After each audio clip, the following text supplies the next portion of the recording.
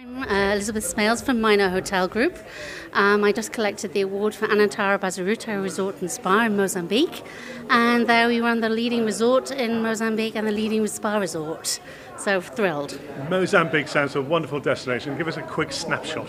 It's it is a fabulous destination. The, the fantastic thing about Mozambique uh, Bazaruto Resort is that uh, on the one hand, you, on the left you have uh, great mountains um, and ruggedness of it, and then on the other side of the resort you've got beautiful white sand beaches, very long, very the privacy of it.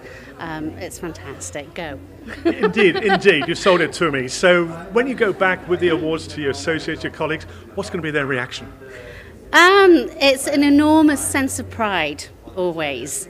Uh, they put a lot of work in and recognition for that.